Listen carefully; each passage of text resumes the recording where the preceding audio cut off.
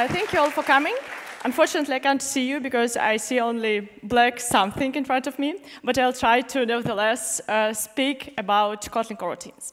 So, I'm Svetlana Isakova, I'm a developer advocate, and uh, today I want to focus on Kotlin coroutines, introduce them, explain why we have so uh, why it's so important feature in the Kotlin language, and uh, show you some examples of how to use them. So let's start. The main purpose of Kotlin coroutines is to simplify asynchronous programming. And uh, Kotlin coroutines, in essence, give us a new way to perform all these asynchronous computations.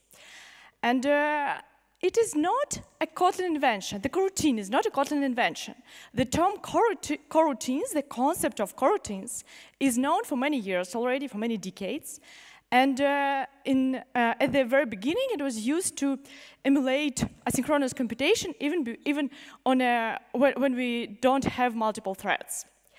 And uh, uh now Kotlin just reuses uh, this concept, and um, uh, we now have it in the language. And now I will explain what it is and why we have this. So let's start with the motivation exam uh, with the motivational example. And um, my motivation would be uh, there. I'll start with the example for async await. And um, uh, at first, let's start with this very simple piece of code. And uh, it is very simple, consecutive, and straightforward, but it is wrong. The problem with this code is that uh, loading image might be very time-consuming operation, and um, uh, while this image is blocked, if we perform this code, if we run this code from the main thread, our user might be blocked because uh, it takes a long time to, to load actually this image. And uh, there are different solutions, uh, solutions to this problem. One of the solutions is to use callbacks. Uh, there are, like, uh, you can use them directly, you can use different frameworks, however, it's still callbacks, and you, uh, in this case, you have to extract uh, what should be done when your operation is completed inside some Lambda, and uh, specify that this Lambda should be invoked afterwards, after your code completes. And um, uh, using these callbacks often lead to some uh, not really nice, uh, like uh, to different problems, especially concerning uh, that uh, the code is not easy to read, especially when you have a lot of callbacks one inside another, and sometimes it is called callback hell when you have a lot of indentations for these callbacks. And uh, the solution to this problem, like alternative solution to this problem, would be to use a async await. And um, uh, async await, in essence, uh, allow us to avoid using callbacks here, and to, uh, it allows us to just write this code directly. And uh, if you look at it, it looks directly like uh, our first wrong example. So uh, it is it is very, very similar to it. So we just write the code consecutively, one instruction after another, without some kind of callbacks, and it somehow works. Note that I haven't yet explained you how this async await works.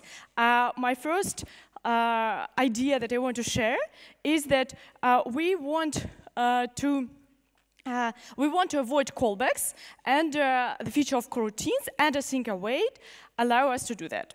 Async await is also not a Kotlin invention. It uh, is the feature already present in some languages, for instance, C Sharp.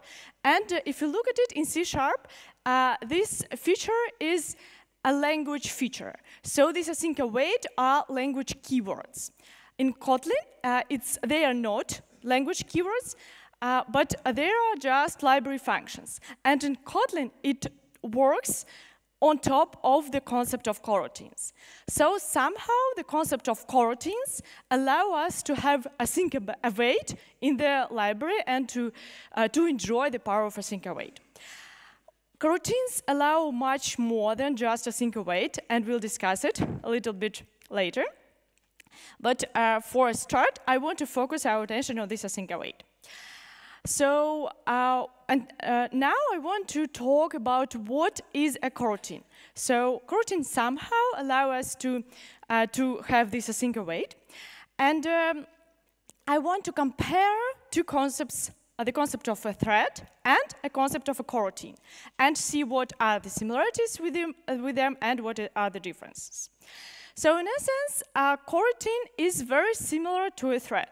So it is something uh, that, uh, that on the first glance uh, looks like a thread. Uh, in which sense? Thread is a sequence of instructions, uh, and multiple threads might, might be executed concurrently and can share some resources. And for coroutines, the same also works. How, and a uh, coroutine is also called a lightweight thread. Uh, that means that we uh, uh, can have much more coroutines, that we can create much more coroutines for our application than threads. So thread is a rather expensive thing. It uh, requires a lot of memory, a lot of resources. And for coroutines, it's no longer the case. Coroutines are really lightweight, and we create like thousands, tens of thousands coroutines in comparison to, uh, for, uh, to threads in our application. So coroutine is uh, something very lightweight. So now we know that coroutine is uh, something similar to a thread, but uh, uh, we can have much more coroutines. Then let's discuss what, uh, how they are different, how coroutine is different to a thread. And uh, to, uh, to explain this difference, I will use the following pictures. So in my talks, I will, I will have lots of pictures today. I understand that it's uh, second half of the day, so you might be tired. I hope that pictures will help. Um, and uh, uh, the, uh, for, uh, for, my notation, I will use uh, the, the, the, the, following. So the thread will be the line always, and uh, coroutine is like this computation, and it will be drawn as this block. So uh, the next uh, level, the next uh, understanding of how to think of what a coroutine is, a coroutine is a computation that can be suspended. So it can be run on top of threads, in different threads, and we can suspend coroutines. So somehow we may take this coroutine from the thread, put it somewhere in memory, and later return it back. The question is, why do we need to suspend a computation? Why do we need to suspend a coroutine? And the answer is, uh, like even from this picture, you can see that when we suspend it, our thread is free and can be busy with something else. So uh, for another example, let's uh, consider uh, a situation when you start some two asynchronous computations from a main one, and you need to wait uh, for the result.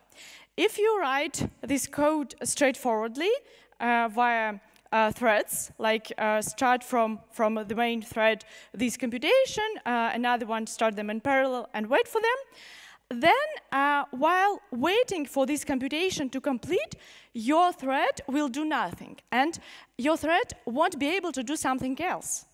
And that's a problem. And if it's just a regular thread, it's uh, just too expensive to lose threads in such a way. But if it's a main UI thread, it's even ro uh, wrong because our thread is blocked and your user is also blocked. So that's uh, that's why this situation with threads doesn't work real well because like you cannot uh, write such code. It is readable and straightforward, but uh, it's wrong because you're blocking threads. And coroutines allow us a very interesting thing. You can write very similar code to the one that you would write using threads. However, here you can suspend a computation. And uh, in this case, when you suspend this computation, your thread is not blocked. And this thread can be busy with something else.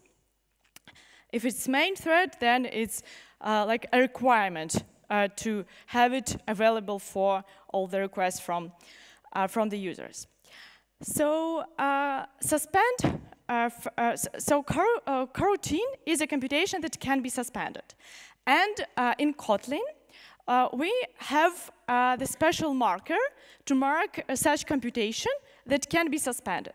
And that is suspend modifier.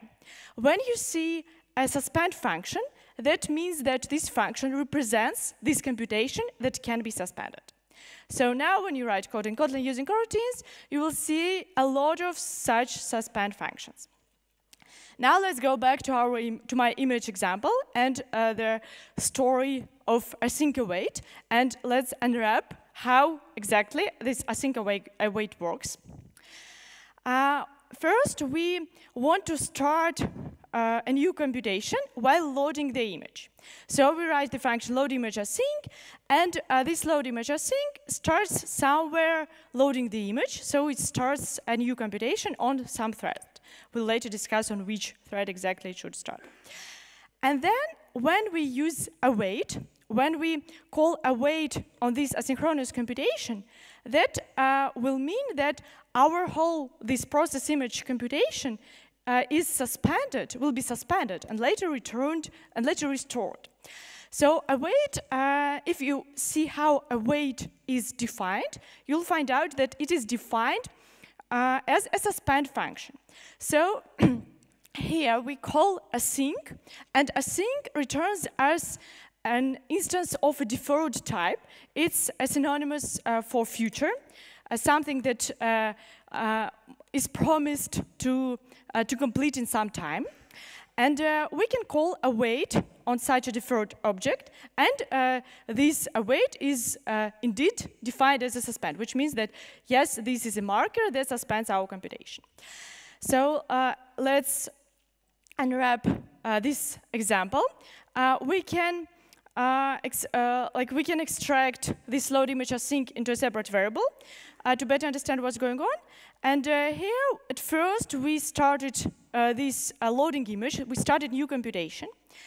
And, the, and we have now two computations, one on the main thread that started another one, and um, a new one, like in my picture green one, that is loading the image. Then when uh, we uh, when the code in the first computation reaches a await, that is a marker that tells the compiler to suspend this computation if the result is not yet ready. So here, uh, await uh, uh, refers to, uh, to some computation to uh, offloading the image, and until the result is not ready, we suspend the main process image computation somewhere, and uh, now our thread is free to perform another tasks. And then, when the result of a loading image, when the image is loaded and the result is already available, then we can return, then the compiler returns automatically our suspended computation to a thread and continues it. So that's how async and await works, work. You may ask here, on which thread uh, my computation, my suspended computation will be continued? And the answer to, to this is that you specify that. By default, uh, the, uh, the, pool, uh, the, thread pool is the default thread pool is used, um, and uh, that means that uh, your computation might be continued to on any thread from the default thread pool.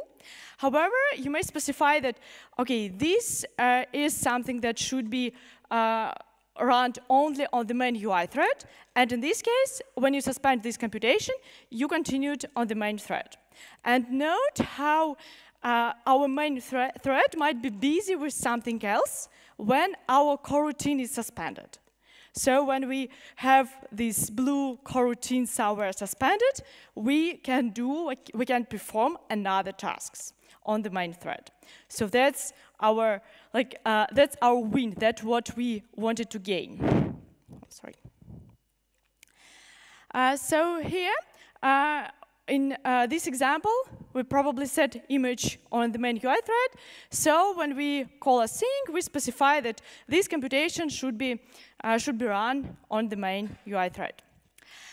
However, uh, there is another interesting story that Kotlin coroutines are not only async await. So here we see this, this pattern and uh, it is uh, the feature that you might be already familiar with if you, uh, if you found it uh, before in other languages like C Sharp. And that's exactly the same functionality. These async await uh, allow you to, uh, to run something asynchronously on a different thread and then wait for, for, for its result. However, Kotlin routines are not only a async await. You can do more things with uh, Kotlin coroutines. And uh, one of the most important things that you can do is you can define your own suspend functions. So now the way how, we how you write your, uh, your code differs uh, from, uh, from your, like, uh, your habit habits uh, can differ because now you can think in terms of defining something as a suspend function. So whenever you have uh, something that uh, might uh, wait and uh, block a thread, instead you can uh, you, you, can now declare it as suspend function. An example. Here we have a simple consecutive logic. first, we want to uh, log in our user to get some uh, user ID, then uh, we load some data using this user ID, and uh, in the end, we show the data. If we just write this code in this manner, uh, in a consecutive, clear way, it will be wrong because uh, we have here we have two places where our user can be blocked because uh, we have uh, here probably some network operations and uh, they uh, may take a long of time and during this time your user will, will need to wait. So uh, that's something that we somehow try to, would like to avoid, to block the user. So what are solutions to, to, to, to, this, to this problem? You can uh, use completable futures, for instance, to, to rewrite uh, the same code uh, and uh, to, uh, to allow not uh, to, to avoid this uh, blocking user. then you will need to use some API of these completable futures. And or if we are talking about probably Android or some other cases, you can also use RxJava. It also allows you to rewrite this simple, straightforward code in a uh, RxJava style. However, for this simple case, when we just have uh, some consecutive actions, like login, log, load data, and show this data, in this case, in this scenario, RxJava might be a, a kind of overcomplication. So if you compare the initial code with what we have with these, uh, all these frameworks, you'll find out that with frameworks, it's, uh, it's less, it, it becomes less clear. Uh, in, in, in some uh, cases that are not probably intended to be, to be processed in this way. So what we can do with a async await? Now we have the power of a async await, and we can rewrite our code, our initial example, using this async await functionality. And uh, how we do it is we uh, uh, now, when we implement our login function, instead of just performing our login operation, we, uh, we try to perform it like somewhere in the background and uh, probably and return uh, an, uh, a deferred object that might be awaited. So that's, that's how we program with, uh, with async await. We say, okay, uh, start this login operation, then await it, await for it. And the same with uh, load user data. So now we changed the return types of these functions, two functions, login and load user data, now return as deferred objects. And after each call, we simply await for the result. So our code, uh, to my mind, it looks uh, more clear than uh, the previous uh, one with the RxJava frameworks, but uh, probably it's a matter of choice. So I think it would help us here to simplify this code. Okay, so also good. But with Kotlin suspend functions, we can do even more. In this scenario, we can simply define these functions as suspend function. And that well will mean exactly that this suspend function that is some computation that might be suspended. So whenever we uh, use, we, we, we, access for user lo login, uh, that uh, is a network operation that might be long, and uh, we want to be able to, uh, to suspend uh, it until it waits for the result. So we simply define our function as suspend function, and you see that uh, the code afterwards, the code like, that shows user info, is uh, the same as we had uh, in the first wrong slide when we blocked the user. So that's what we have, the, that's the benefit that we have with coroutines. We had uh, our first very simple code that probably you write at the first when you just need uh, something to get working and when you are not uh, very concerned uh, with the performance. But then when you start to understand that, hey, user need to block, uh, need to wait too much and is too slow, you may decide to convert it to the suspend function. You don't need to rewrite everything and to change uh, the model. That is not, uh, that, that is kind of slight modification. And you can, whenever you write it, you can define uh, them suspend. Uh, at the beginning, when you understand it, yes, this is something that might be suspended, uh, but the main idea is that it is very similar to the, it doesn't change the way how you write code. You just add these suspend modifiers, but everything else stays the same. So we just added these suspend modifiers. And IntelliJ also nicely highlights, and Studio, they nicely highlight uh, the suspension points of this coroutine, of this function. So in this case, uh, in the, uh, so show user info function is a computation that might be suspended, and it might be suspended in uh, possibly in two places. And we clearly see where it can be suspended. At first, it can be suspended when we call login, because it is also suspend function, so that's something that can be suspended. And it can be suspended when we load user data, again, because it's some, some point uh, where, which uh, represents computation that can be suspended. So we clearly see these suspension points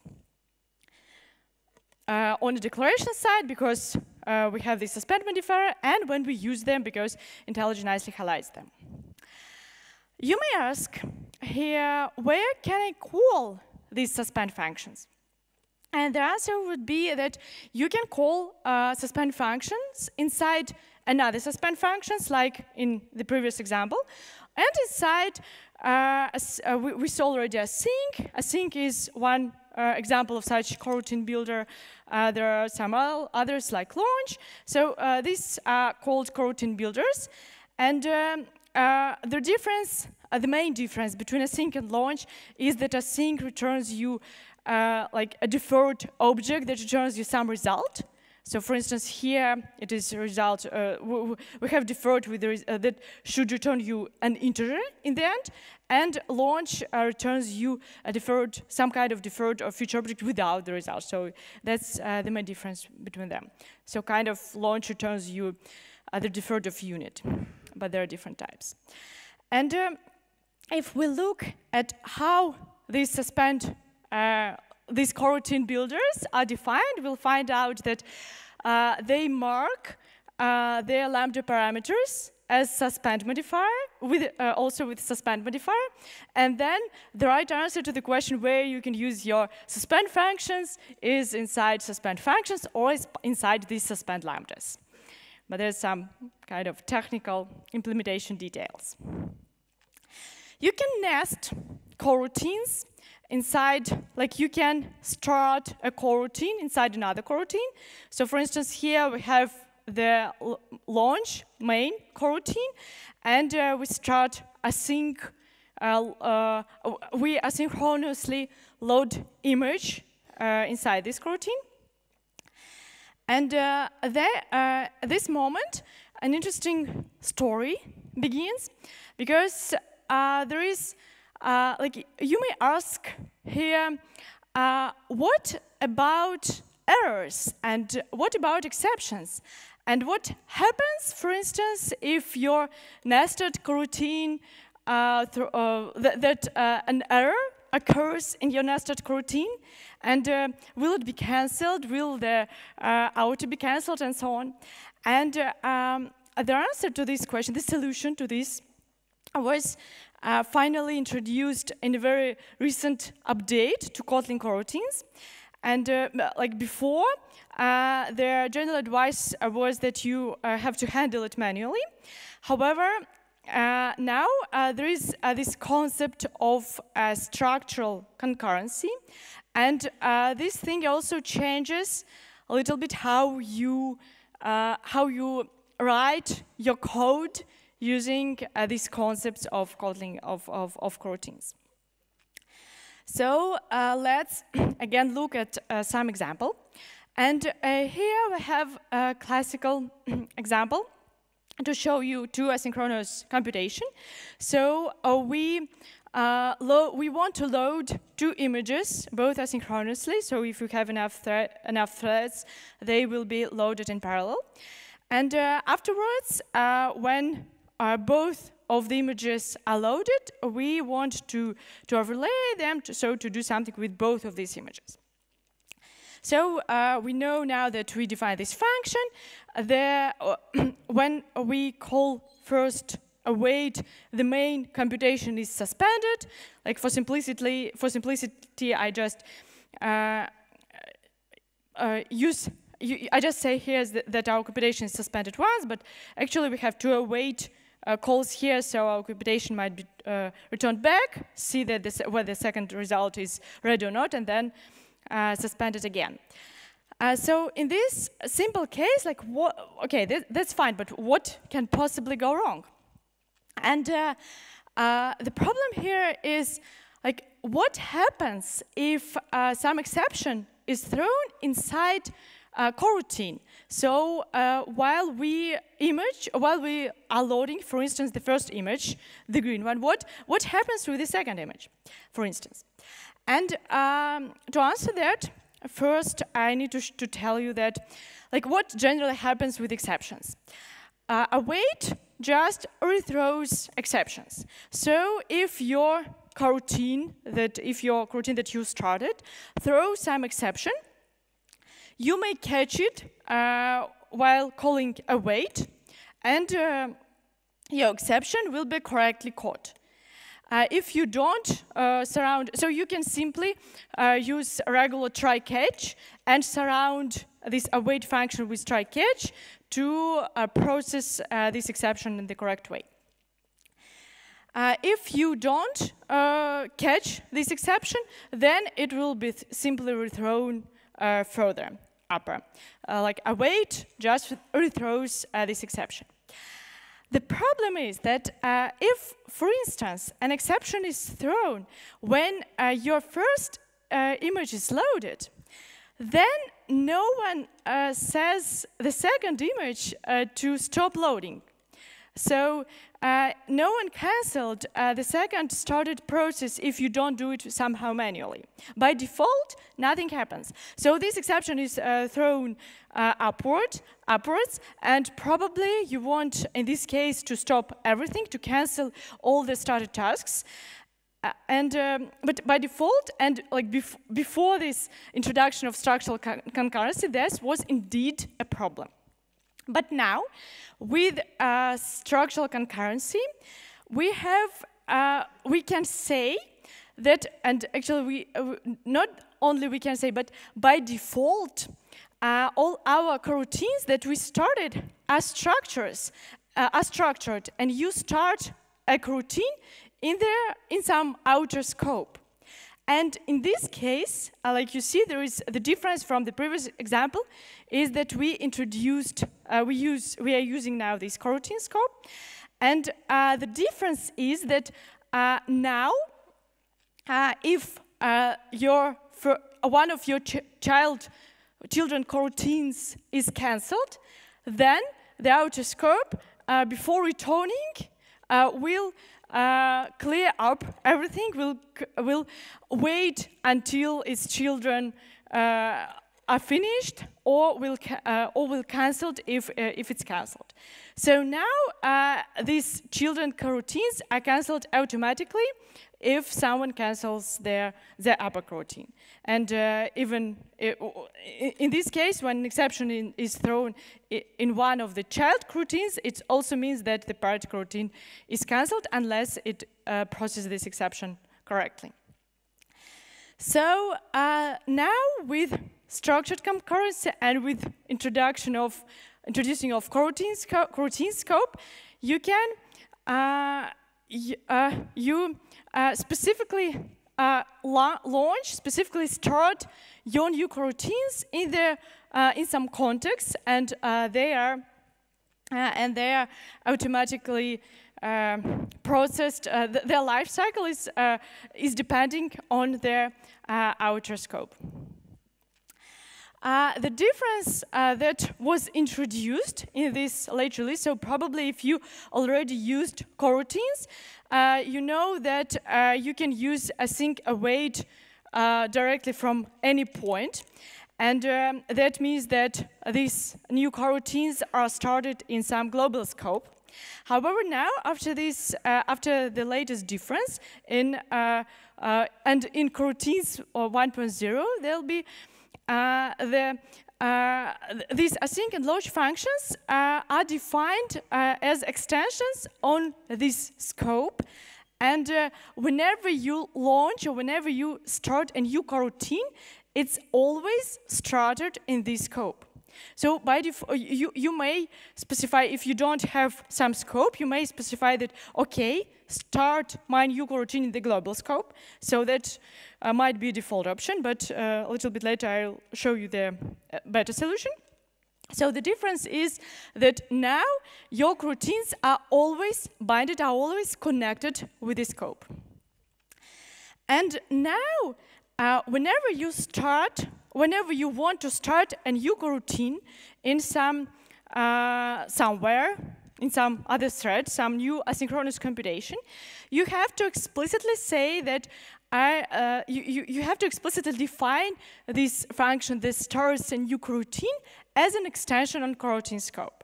So that's another difference that, uh, that brings this uh, structured concurrency approach that, uh, that influence how you write your code. So now, when uh, we write this function load image async, and it starts a new coroutine. This new coroutine, this loading image will be connected, will be binded to this outer scope, depending on what scope uh, we're, we're starting it from.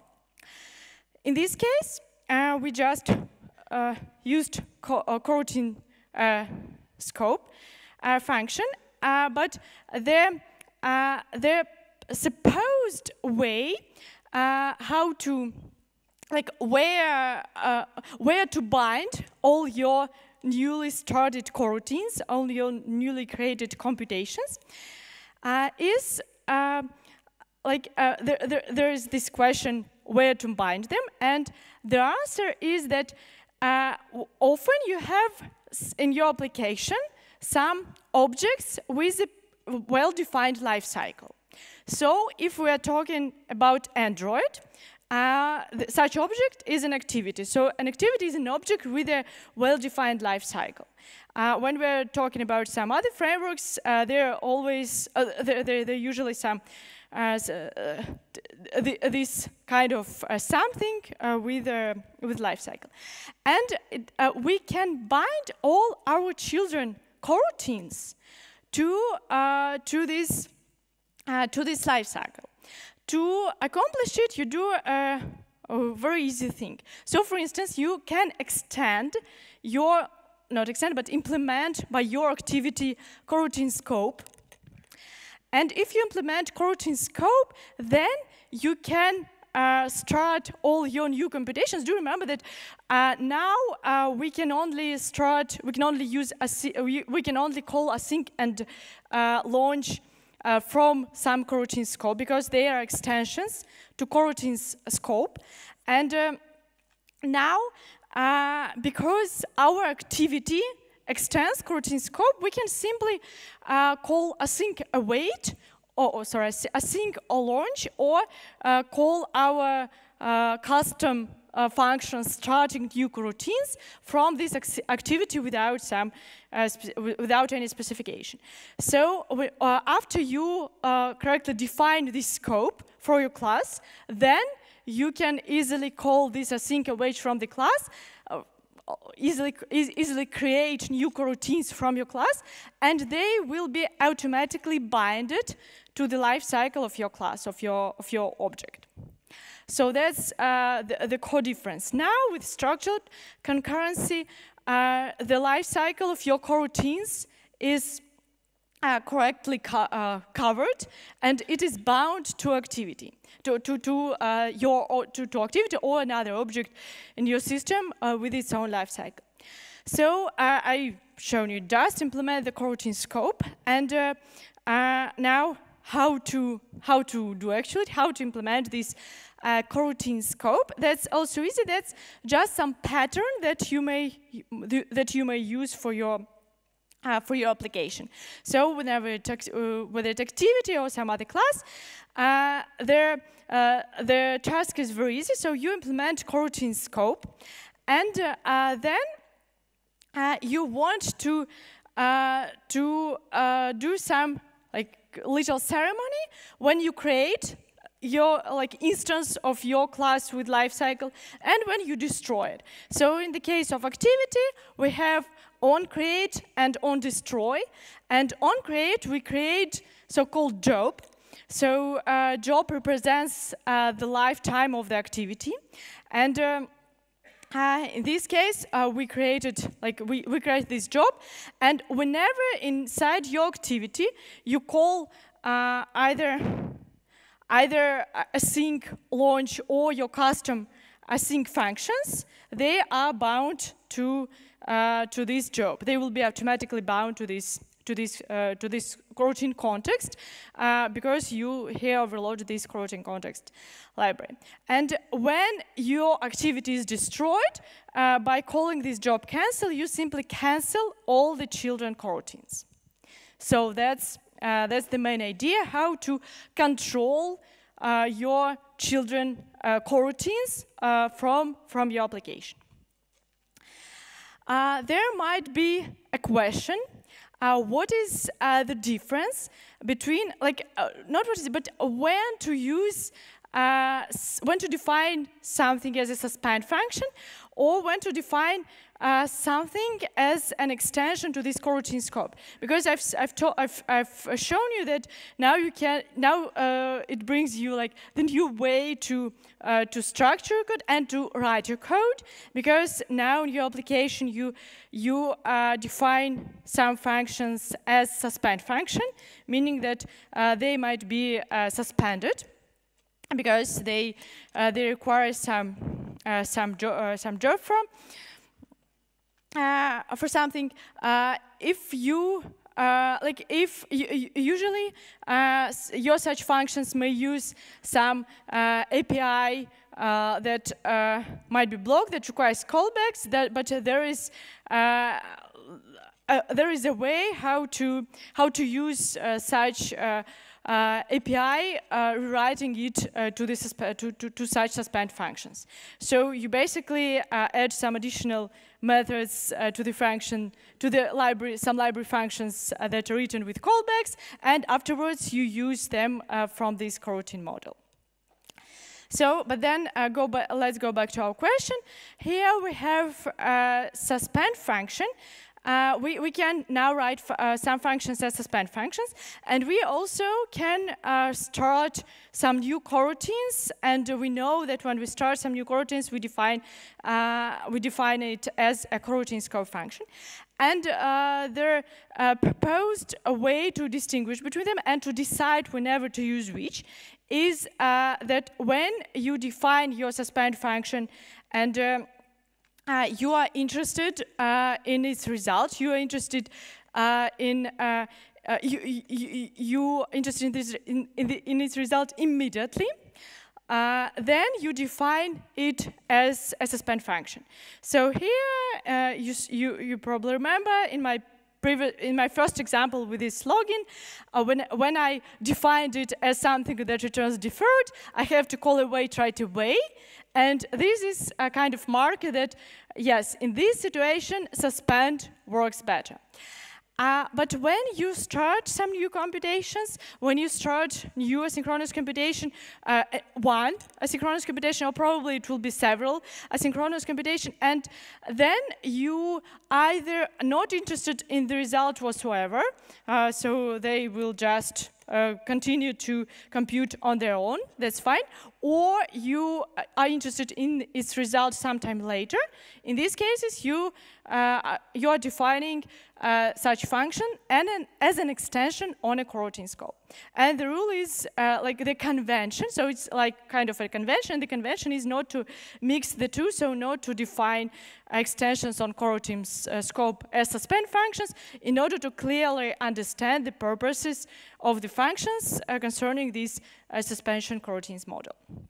So that's uh, that's new suggested ways of, of writing uh, your code uh, that uh, might be suspended and uh, that may require this suspension mechanism. Some implementation details of how these coroutines are implemented under the hood. Uh, so whenever you uh, write some suspend function, under the hood, this suspend function in the bytecode level takes additional parameter. So uh, it is generated to take this additional parameter, and the compiler automatically uh, generates uh, this parameter. So uh, if we look at continuation, it's a kind of a ge generic callback interface. And uh, to some extent, uh, coroutines work through the same callbacks mechanism like before, like when we start discussing that you can solve such problems with callbacks. However, now all these callbacks are hidden by the, uh, by the compiler, are hidden in the uh, bytecode implementation of this function, and uh, uh, the compiler generates all these callbacks automatically for you. So that's one way to, uh, like one simplified way to, to think about it. And uh, when we're looking at uh, like what what what is this continuation? So I show you that here we have so, some hidden parameter continuation, and uh, what uh, what is this continuation? When we uh, suspend a function, so for instance in this example, I have a function, and uh, the, the first line login is my first suspension point. So when I suspend a function here, uh, there, uh, there, uh, there are uh, there. Uh, when I say that uh, computation is stored somewhere, like this continuation interface, continuation object is stored, and it contains all the information of the uh, exact point when we stopped this computation, when we suspended this computation.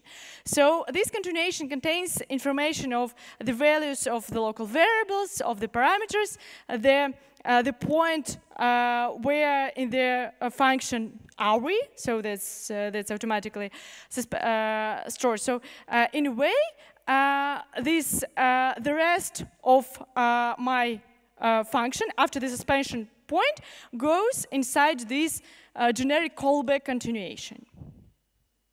And whenever we when we restore this function, it continues from, uh, it restores its state and continues from the point where it was suspended with the newly uh, results that we got from this uh, suspension function. So the same works uh, for the second suspend point. Here we have another, like the rest of the code becomes continuation, and uh, the same for the last suspension point. Again, uh, the rest of the code becomes this continuation. Uh, another implementation detail is that the, the body of the coroutine is compiled under the hood to a state machine. And uh, basically, uh, the number of suspension points uh, that you find inside a function. So that's uh, uh, here we actually we don't know how many suspension points do we have because uh, we don't know the implementation of login function, of load user data, etc. But but when we store this com this computation, this coroutine, uh, it is uh, implemented via the state machine, and each suspension point is one of the state. So when we reach first suspension point, we suspend the coroutine and then uh, restored it, etc., etc. They continued uh, to, uh, to, to, to, perform the code, reach the second uh, suspension point, suspended it, restored it later, etc. So that's, uh, that was almost all about uh, what I wanted to share about coroutines. some uh, the, uh, the, the like Kotlin coroutines is are much uh, even more than just um, uh, that just async await, then suspend functions and uh, and uh, the exact coroutines. So again, the the concept of coroutines lives in the language. So this uh, language supports the suspend modifier for suspend functions, uh, uh coroutine uh, builders like suspend, su suspend lambdas, and some um, ways to, and uh, the, all this magic of sus suspending uh, the computation and restoring it back. And everything else is built on top of it and lives in the library. So there is async await. There are also uh, the support for more complicated concepts like channels or actors. You can also implement uh, that uh, via coroutine and use them. And uh, there is a separate thing as yield. Yield is also in Kotlin implemented via coroutines. You can find information about coroutines uh, in our site. So now you can, uh, you can read everything about them there. And also I would recommend if you want to uh, to, to, learn more, uh, there are talks at KotlinConf by Roman Elizarov, who is uh, uh who, who is the lead developer of the uh, uh, of the Kotlin libraries, including Kotlin coroutines. And here he explains this concept. And in the last talk at KotlinConf, he, he explains this concept of structural concurrency in detail. So if you want more about it, you can you can try it. So I'm all. thank you uh, very much for your attention and have a nice Kotlin with coroutines.